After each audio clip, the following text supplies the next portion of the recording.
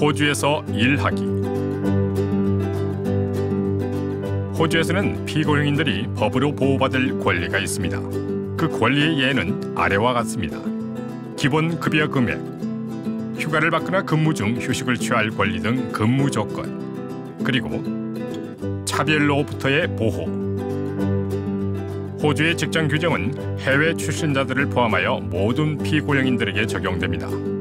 이들의 체류 기간이나 비자 유형에 상관없이 적용됩니다. 모든 고용주들은 이들 규정을 따라야 합니다. 최저임금 호주에서는 다양한 직업에 대해 최저임금이 설정되어 있습니다. 모든 비고용인들은 자신의 직업에 대해 반드시 최저임금 이상 받아야 합니다. 이들은 근무하는 모든 시간에 대해 최저임금을 받아야 합니다. 고용주 및 비고용인은 더 낮은 임금에 동의할 수 없습니다. 비고용인은 음식, 의복 혹은 숙소 등의 상품이나 서비스가 아니라 돈을 지불받아야 합니다. 최저임금은 매년 검토되며 일반적으로 7월 1일에 인상됩니다. 비고용인이 일을 할 수 있는 시간대, 취할 수 있는 휴식, 그리고 일을 할 수 있는 총 시간 등에 대한 규정도 있습니다. 공정근로 옴부즈먼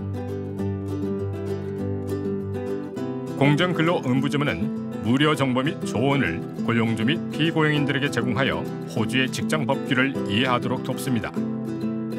여러분이 공정근로 옴부즈먼에 연락하여 임금 혹은 기타 권리에 관한 정보를 요청하는 것이 문제가 될 수는 없습니다.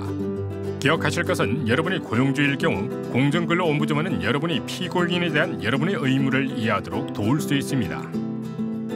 공정근로 옴부즈먼에 연락하시려면 fairwork.gov.au/korean을 방문하시거나 공정근로 정보라인에 131394로 전화하십시오. 통역사가 필요하시면 통번역 서비스에 131-450으로 연락하여 한국어로 무료로 저희와 대화하실 수 있습니다.